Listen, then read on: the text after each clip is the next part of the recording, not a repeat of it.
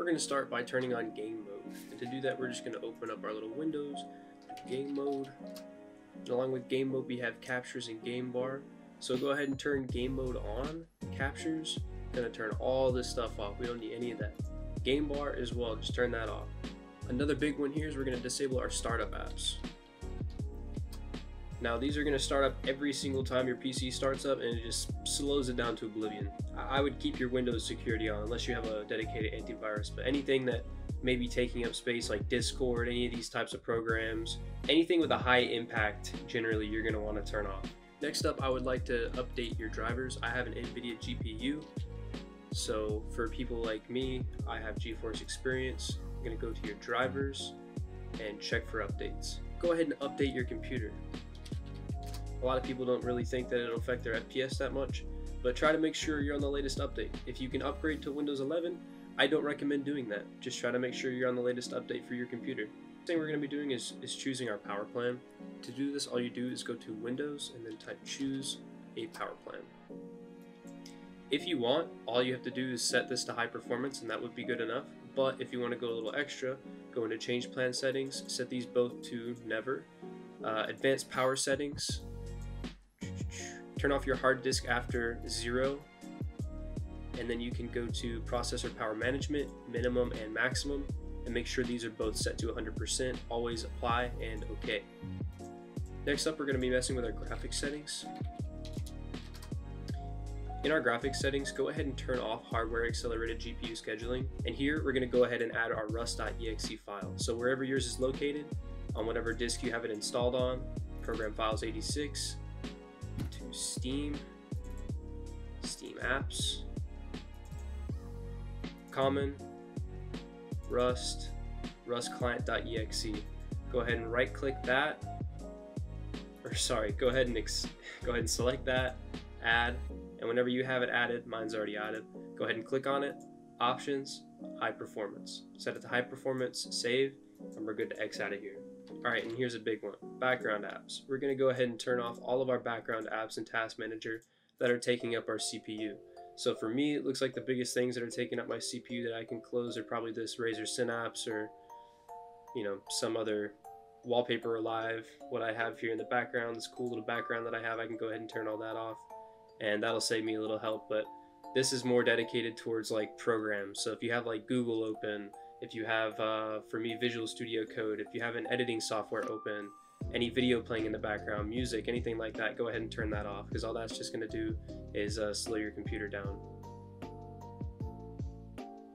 Next thing we're going to be doing is setting our launch options for Rust.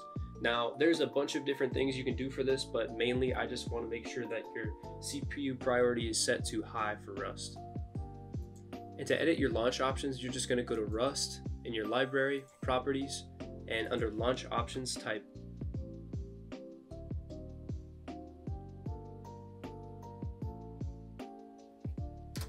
and go ahead and save that. Now I would recommend doing this before you go into game, but for I don't know whatever reason I decided I wanted to go into game, just go ahead and follow and kind of copy my settings. So mainly under screen, we're gonna make sure our mode is on full screen. We're gonna make sure that we're using our native resolution. So mine is 1920 by 1080. Turn off VSync, turn off your FPS limiter, and turn both of these options off here. Graphics, I would also like kind of switch in between potato and ultra. I used to have mine on ultra. I used to think that this setting uh, didn't matter so much to the gameplay, but it actually really does. Uh, and there's really not too big of a difference in the way that it looks.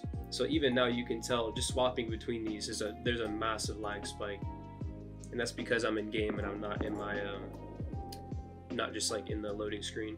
So I'm gonna want to put mine on potato because I want the best FPS, and it honestly doesn't look that bad. Render scale, go ahead and turn that up all the way. NVIDIA DLSS is a good setting if it works for you, but whenever I have mine up to ultra performance or max quality, it makes my game look kind of choppy, so I just turn it off.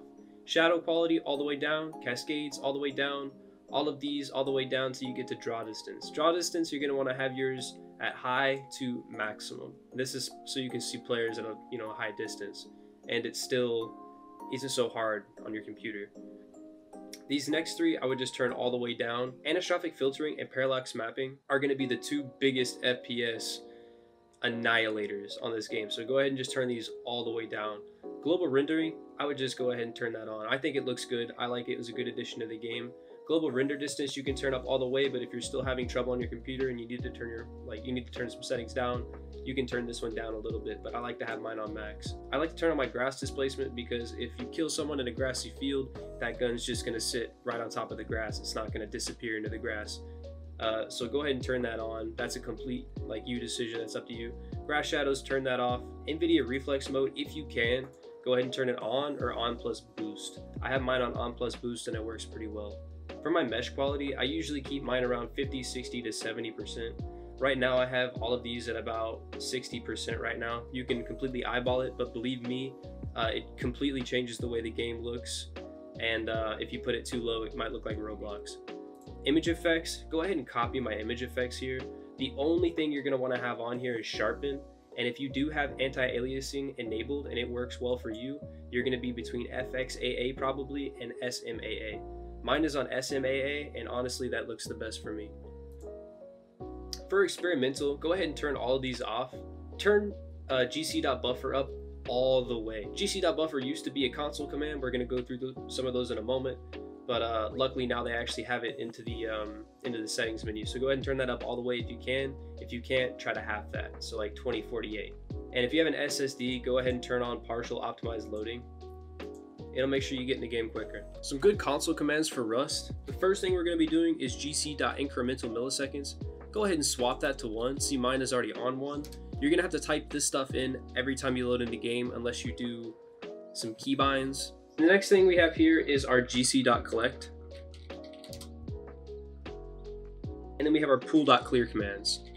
So doing these pool.clear commands, it will um, it will boost your FPS at the cost of the next time that you load in, it may take a little longer.